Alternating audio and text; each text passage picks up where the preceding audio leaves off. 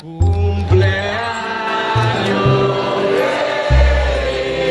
year, Wikipedia is turning 20 years old. Happy birthday, Wikipedia. Wikipedia began with a very radical idea. Imagine a world in which every single person on the planet is given free access to the sum of human knowledge. The knowledge in Wikipedia comes from people like me. It takes a village to build Wikipedia. When thousands of people come together to share their knowledge voluntarily and build up a big encyclopedia, it's a knowledge revolution. The fact that anybody anywhere in the world can contribute to the platform makes the difference. Wikipedia is human because it is us. Today, Wikipedia has over 53 million articles across nearly 300 languages. In our era, Wikipedia has become the voice.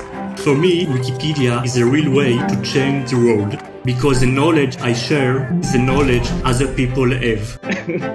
Everything is on Wikipedia. It is funny and it is brilliant. There's war heroes and battles. Pregnancy and childbirth. The constellations of the zodiac. Women in science. The grandfather's paradox about time travel going back into the past. Even Kenyan dance. And also sex in space.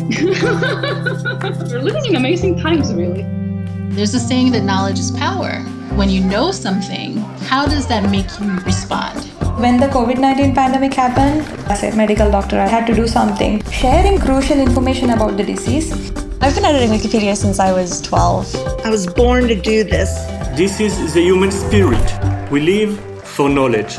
Because you can't really explain why so many people would take so much time and dedicate themselves to this project. But people do. Helping build free knowledge. This is our story.